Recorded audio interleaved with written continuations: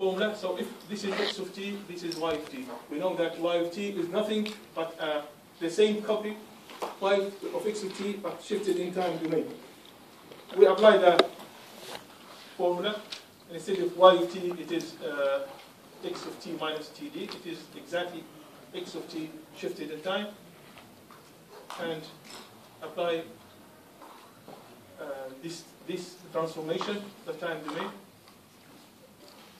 So we integrate with respect to t, we have this dummy variable lambda equal t minus td, and at the end we arrive at, at this expression, which is this. And this is a very important result.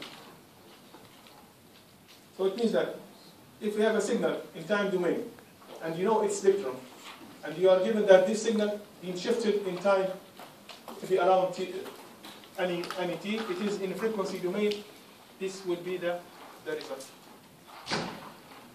So this is, if a signal is shifted in time domain, this is the, the spectrum of the new signal. How the spectrum of the new signal is related to the spectrum of the old signal.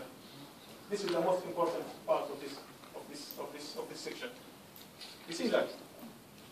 It is the same spectrum of the original signal multiplied by this complex part. We know that, uh, you know this, this property that Ejx is 1 for all x. Do you know this? Or should I prove it? Prove it, please? Okay. Okay, so we know that Ejx is equal to cosine x plus j. Okay? So it means that Ejx squared plus cosine squared x plus. So this means that absolute value is 1 over this. Okay? So we apply this, this simple uh, result here. So that's why when we try to, to find that, okay,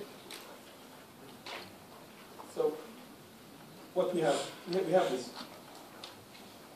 So if x of t, its Fourier transform is it means that I know the Fourier transform of a signal x of t. Suppose that I have another signal, and this signal is x of t minus r or a a constant. The spectrum of this signal is, is exactly the same spectrum multiplied by a minus j2 r. Okay? This means that this is y of t. So it means that the spectrum of the new signal is the spectrum of the old signal multiplied by this. This means that the amplitude spectrum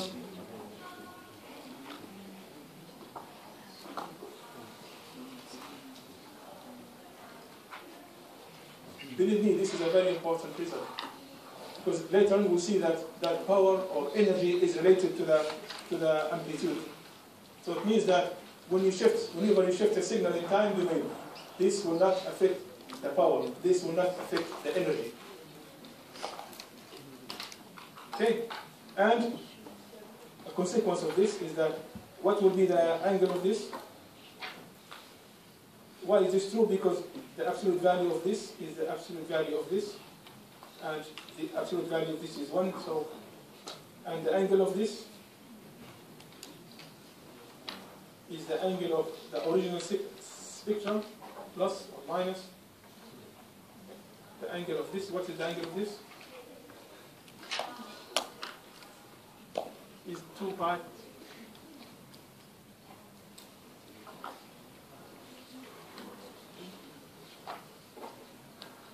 So this is the first important property that whenever we shift a signal in time domain, in frequency domain, we multiply the signal by this complex factor. But the result of that is that the amplitude spectrum is the same, does not change with time shifts. The next important property is the, the other way, is the frequency translation. Why it is the frequency translation? So whenever we take a signal in time domain, so this is again uh, maybe the most important property of the Fourier transform as far as communication coherence is, is concerned. So this is the basis of modulation. So whenever now we shift the spectrum of the signal. So if we have a signal,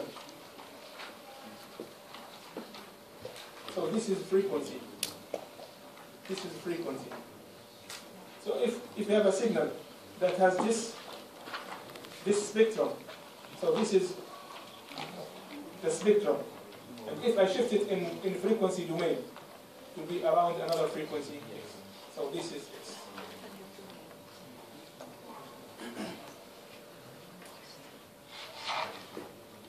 In time domain, this is equivalent to take the signal, multiply it by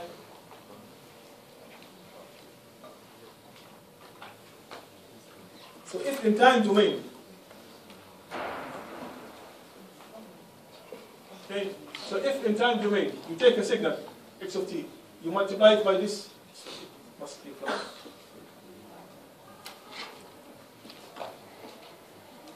By this complex function, complex exponential function, as a result in, in frequency domain, it is shift in the frequency domain to be centered around it.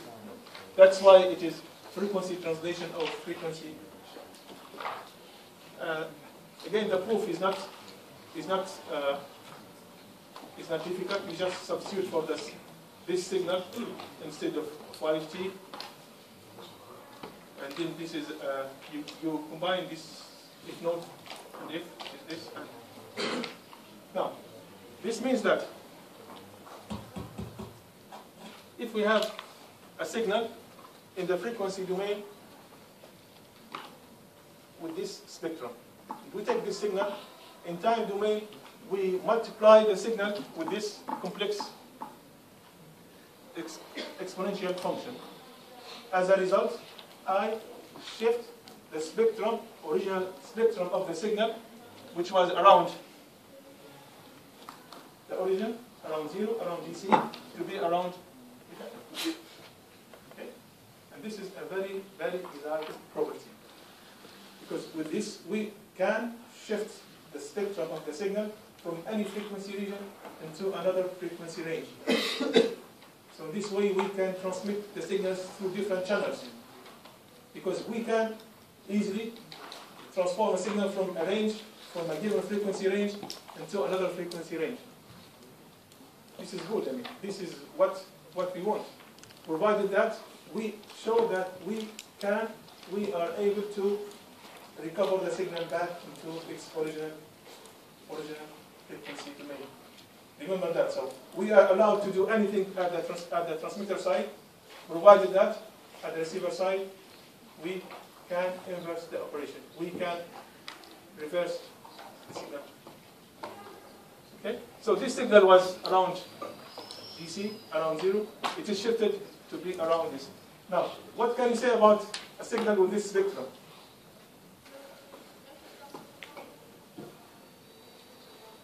Is this, yes? It's complex signal, that's it, yeah. This is a complex signal. Why? It is not, it has not any kind of symmetry here. So this is a complex signal. Indeed, you see that? It is a complex, so this is real multiplied by a complex part, which is a complex. So this is a complex signal. This, but in reality we are interested in the, into the uh, real signals. Is it possible? Is it possible to translate a real signal from a given frequency range into another frequency range and get another real signal. This is would be in this exercise, which I suggest to be after the 10 minutes break, okay?